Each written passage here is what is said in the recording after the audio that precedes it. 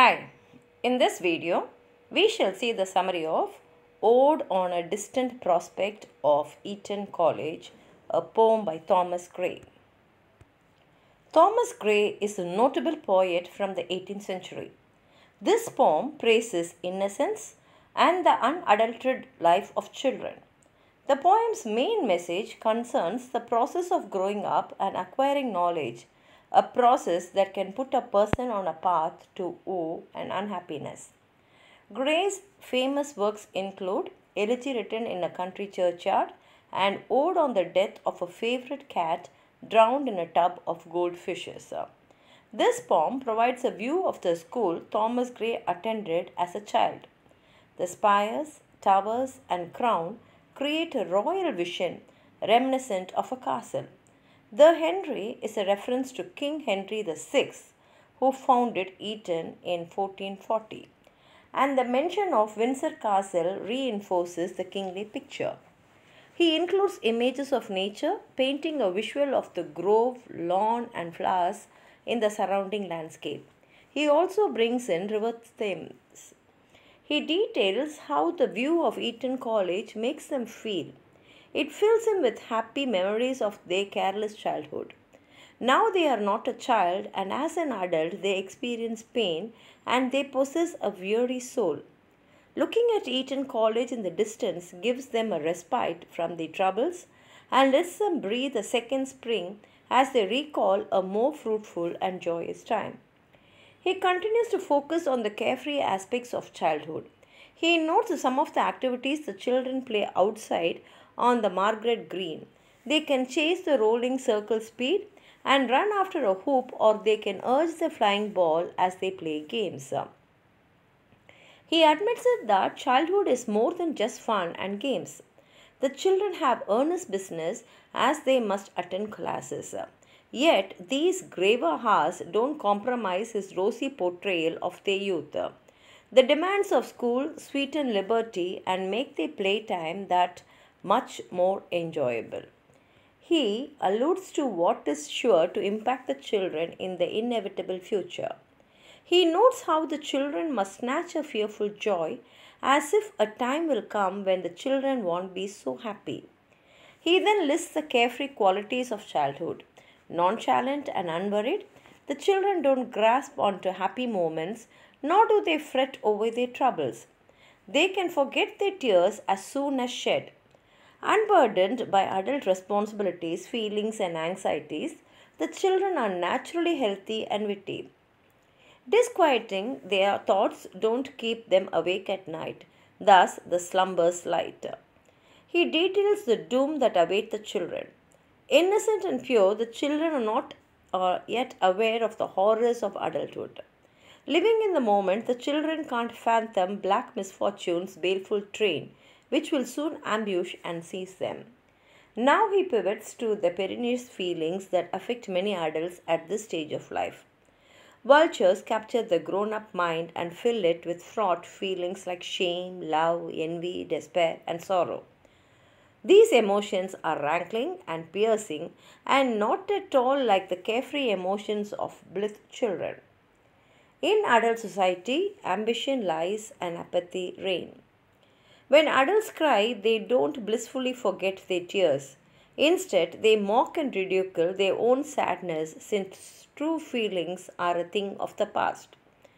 As a person transitions to an adult, he asserts that the person becomes corrupt with blood defilled. As people grow older, their body ages too, and the process racks the joints. The work of adulthood strains their bodies and put them on a path towards death. Finally, he maintains the inevitability of this onerous outcome. To each his suffering, all are men, condemned alone to groan. At the same time, he won't tell the children about their frightening future. Why should they know their fate?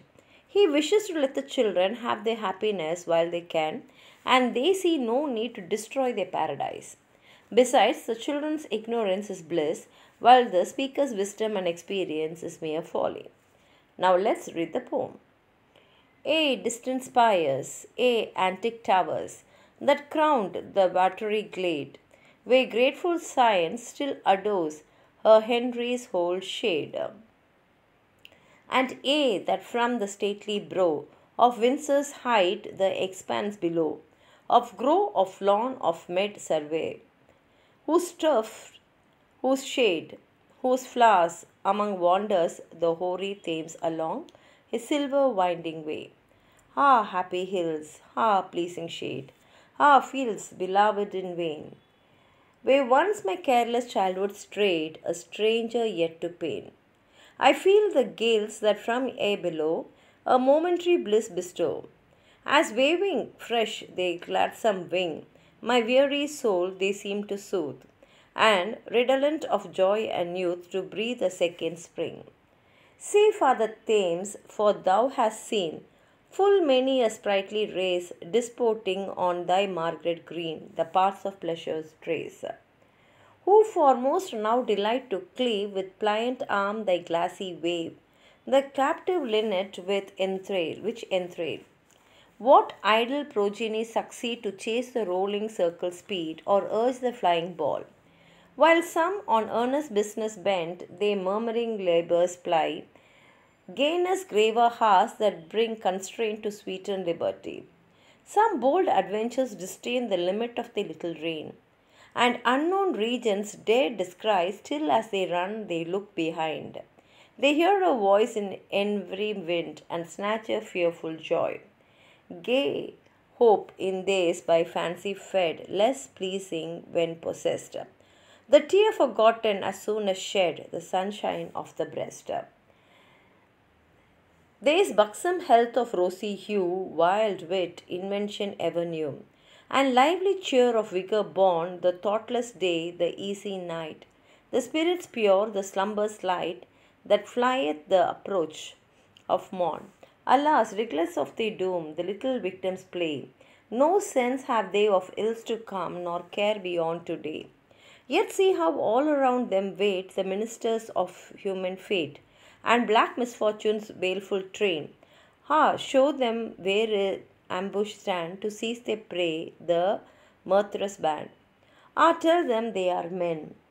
These shall the fury passion stare. The vultures of the mind, disdainful anger, pallid fear, and shame that skulls behind. Or pining love shall waste their youth, or jealousy with rankling tooth, that's inly gnaw the secret heart, and envy, van, and faded care. Grim visaged, comfortless despair, and sorrow's piercing dart. Ambition, this shall tempt to rise, then whirls the wreath from high. To bitter scorn, a sacrifice, and grinning infamy.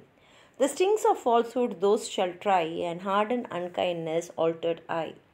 That mocks the tear it forced to flow, and keep remorse with blood defilled and moody badness laughing wild amid severe woe. Lo, in the wild of years beneath a grisly troop are seen, the painful family of death more hideous than their queen. This racks the joints, this fires the veins, that every laboring sinew strains. Those in the deeper vitals rage, lo, poverty to fill the band, that numbs the soul with icy hand and slow consuming age. To each is suffering, all are men, condemned alone to groan. The tender for another's pain, the unfeeling for his own. Yet, ah, why should they know their fate? Since sorrow never comes too late, and happiness too swiftly flies, thought would destroy their paradise.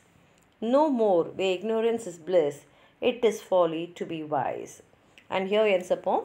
If you have anything more to add on to what I've said, please write it in the comment box. Like the video, share it with your friends and if you have not subscribed my channel, please subscribe and support. Thank you.